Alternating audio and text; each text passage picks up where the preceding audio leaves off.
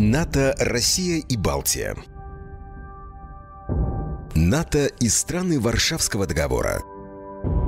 По окончанию Второй мировой войны США и СССР почти сразу вступили в новую холодную войну и фактически поделили планету на два блока – капиталистический и социалистический. Развивающиеся государства третьего мира балансировали меж этих двух систем. С военной точки зрения, в холодной войне участвовали страны, составляющие организацию Североатлантического договора, сокращенно НАТО, и социалистические страны из организации Варшавского договора, сокращенно ОВД. НАТО и ОВД на протяжении 40 лет старались сохранять военный паритет и ни в чем не уступать друг другу, что привело в итоге к гонке вооружений. Закончилась холодная война в конце 80-х с распадом СССР и всего блока Варшавского договора.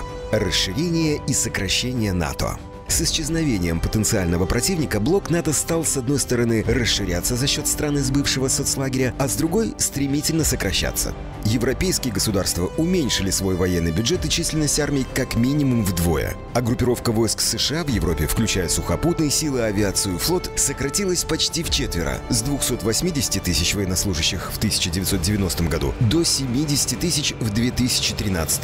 Ситуация в мире кардинально изменилась в 2014 году после вторжения российской армии на территорию Украины и захвата Крыма. Руководство НАТО было вынуждено пересмотреть концепцию стратегического развития и вновь вступить в гонку вооружений. НАТО и страны Балтии.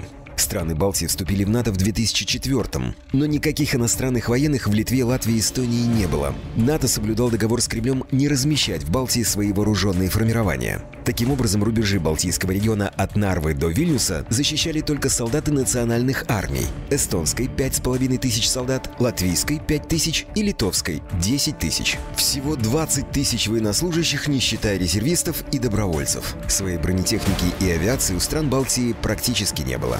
В то же время по другую сторону границы находились куда более мощные формирования российской армии. Одна только Псковская дивизия ВДВ – это приблизительно 10 тысяч штыков не считая мотострелковых частей, танковых, артиллерии, ракетных войск, ВВС и Балтийского флота.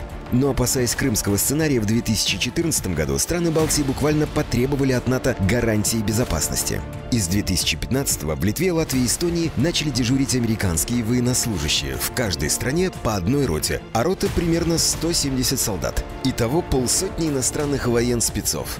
В ответ на расширение НАТО Кремль заявил о формировании новых подразделений. Первой танковой армии в Западном военном округе, отдельной танковой дивизии в Бугучаре, мотострелковой дивизии в Ельне, мотострелковой дивизии со штабом в районе поселка Валуйки. Таким образом, только в Западном военном округе России сегодня несут службу уже более 400 тысяч военнослужащих различных боевых соединений. Кроме того, резко усилился ВМФ России. За последние годы на воду спущено порядка сотни боевых кораблей, фрегатов, ракетных катеров, подводных лодок, тральщиков и других видов техники. В НАТО действия России охарактеризовали как эскалацию и усилили собственную группировку войск. С 2017 года дежурить в странах Балтии стали уже не временные роты, а тактические батальоны. В тактическом батальоне НАТО около 1300 солдат, плюс боевая техника, танки, пушки, БМП. В Эстонии тактический батальон состоит прежде всего из британцев, в Латвии из канадцев, в Литве основа батальона – немцы. Итого, общая численность войск в Балтийском регионе на начало 2020 года, национальные силы примерно 26 тысяч военнослужащих и дежурные тактические батальоны, еще 4 тысячи бойцов. Соотношение сил в регионе явно в пользу России. 30 тысяч военнослужащих НАТО против как минимум 400 тысяч российских солдат и глобальное преимущество России в военной технике. Такое положение серьезно беспокоит балтийских политиков, но успокаивает, что пока общий военный потенциал НАТО превосходит мощь российской армии, и обе стороны говорят исключительно о планах обороны, так же, как это было полвека назад, в период Холодной войны.